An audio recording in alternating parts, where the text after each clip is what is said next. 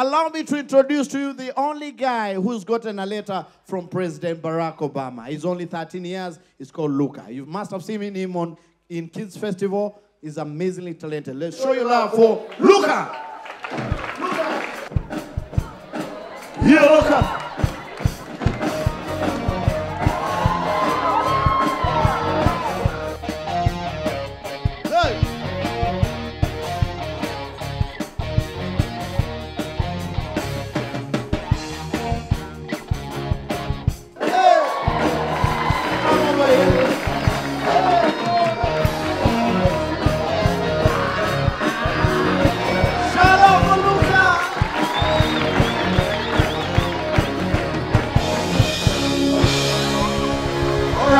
Is here.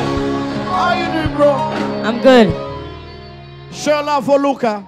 Luca, tell us about this this later.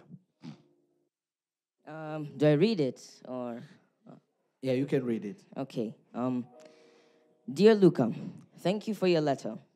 Each day I am moved by the inspiring actions of young people like you who recognize their ability to bring about positive change. And I'm glad to hear you're so involved in causes you believe in. I'm proud of your dedication to raising awareness about endangered animals. By putting your best effort in everything you do and working with others, you can help shape the world we share. Your desire to make a lasting difference came across in every word of your letter, and I encourage you to keep chasing your dreams with passion.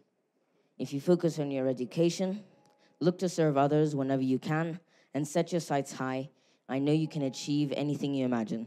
Again, thank you for writing. Young leaders like you give me tremendous hope for the future. Your friend, Barack Obama.